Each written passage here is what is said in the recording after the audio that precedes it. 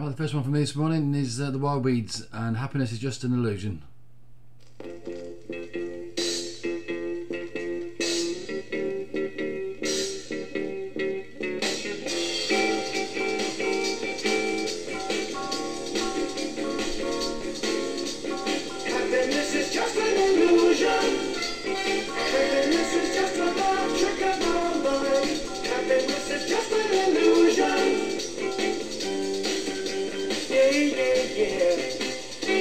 Is a thing that's so hard to find. Especially when a loved one won't pay you no mind.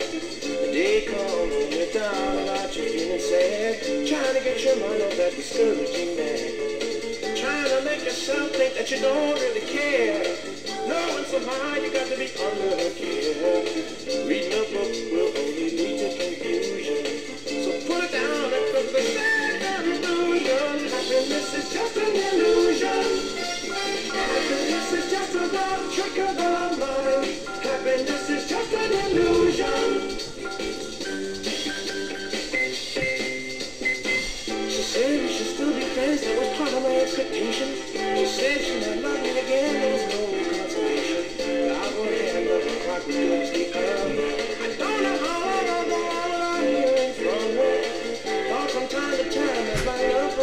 Perish. But how do I forget someone I for so